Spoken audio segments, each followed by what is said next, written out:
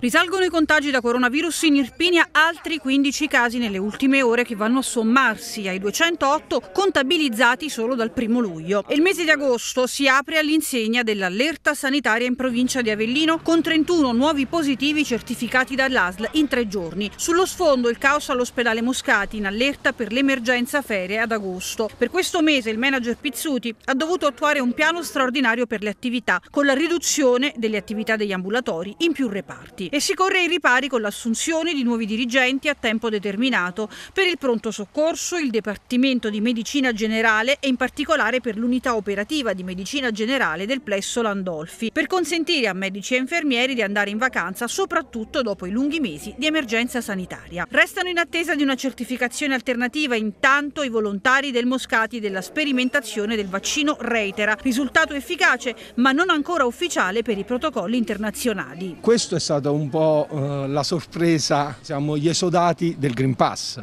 anche se so che in questo momento c'è una discussione in Parlamento comunque la possibilità di avere da parte del Ministero una sorta di certificazione, però purtroppo la burocrazia in questo momento ci ha tenuto fuori. L'invito del volontario è quello per tutti a vaccinarsi rapidamente. Agli indecisi dico di fare la scelta giusta che è quella sia individuale che per il prossimo e più ci vacciniamo, prima usciremo da tutta uh, questa situazione così assurda e surreale.